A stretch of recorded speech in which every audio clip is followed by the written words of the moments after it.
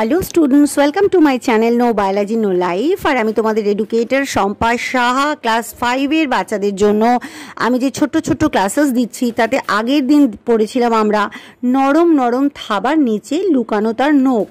আজকে আমরা জানব ছোট বড় হাড়ের কথা সম্পর্কে। তার আগে বলে রাখি যারা এখনও চ্যানেলটাকে সাবস্ক্রাইব করনি, তারা অবশ্যই সাবস্ক্রাইব করে রাখবে এবং কোনো প্রশ্ন থাকলে কমেন্ট বক্সে জানাবে। আর যদি ভিডিওটা ভালো লাগে লাইক করতে কিন্তু ভুলবে না। দেখো, আমরা যখন কোনো জিনিসকে ধরি তখন আমাদের হাতে কটা আঙুল বলো? পাঁচটা আঙুল তো। তার চারটে আঙুল একদিকে থাকে আর একদিকে থাকে একটা আঙুল। যে আঙুলটা চারটে আঙুলের উল্টো দিকে থাকে, তাকে আমরা কি বলি? আমরা বলি বুড়ো আঙুল, যাকে ভালো বাংলায় বলা হয় বৃদ্ধাঙ্গুষ্ঠ।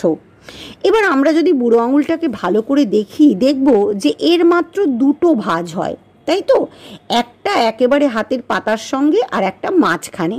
কিন্তু বাকি যে চারটে আঙুল আছে, এই চারটে আঙুলে কিন্তু তিনটে করে ভাঁজ হয়। বোঝা গেল? আবার দেখো, এই যে দুটো হাড় আমাদের আছে, সেটা কোথায় গেছে? কবজি পর্যন্ত। তাই তো? এই যে কব, কবজি থেকে পাঁচ আঙুলে মোট কটা হাড় আছে যদি গুনতে চাই, তাহলে দেখা যাবে অনেক হাড়। আমাদের সারা গায়েই কিন্তু অনেক হাড় আছে। সারা গায়ে একটা হাড় নেই। অনেকগুলো ছোট ছোট হাড় একে অপরের সঙ্গে যুক্ত হয়েছে। ছোটদের ক্ষেত্রে হাড়ের সংখ্যা অনেক বেশি, কিন্তু একজন পরিণত মানুষের দেহে মোট দুশো ছয়খানি হাড় থাকে। কেন ছোটদের হাড়ের সংখ্যা বড়দের তুলনায় বেশি? কারণ যা তাদের শরীরটা অনেক বেশি ফ্লেক্সিবল বা নমনীয়। যত তারা বড় হয়, তখন তাদের ছোট ছোট টুকরো টুকরো হাড় একে অপরের সঙ্গে জুড়ে যায়। বোঝা গেল? আবার দেখো, এই যে জীবের একটা কঙ্কাল, এতে দেখতে পাচ্ছ যে হাড়গুলো নানা আকারের, কোনোটা বড়, কোনোটা ছোট, কোনোটা একেবারেই ছোট, কোনোটায় ভাঁজ আছে, কোথাও কোনো ভাঁজ নেই। বোঝা গেল তো?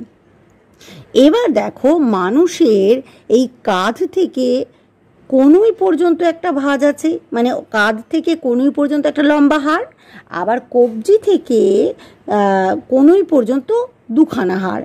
তাহলে টোটাল হাতটা যদি আমি কাঁধ থেকে কবজি পর্যন্ত দেখি, ওপর থেকে একটা লম্বা হাড়, আর কনুই থেকে কবজি পর্যন্ত দুটো হাড়। বোঝা গেল তো? ঠিক এই একইভাবে আমাদের কিন্তু কোমর থেকে হাঁটু পর্যন্ত একটাই মোটা হাড়, নলের মতন, আর হাঁটু থেকে পায়ের পাতা পর্যন্ত দুটো হাড় আছে। এই প্রত্যেকটারই কিন্তু আলাদা আলাদা নাম আছে। আমরা পরের ক্লাসে ওই নামটা জানাব। এবং যদি আজকে পারি, তাহলে আজকেই কিন্তু সেই ক্লাসটা আমি দিয়ে দেব।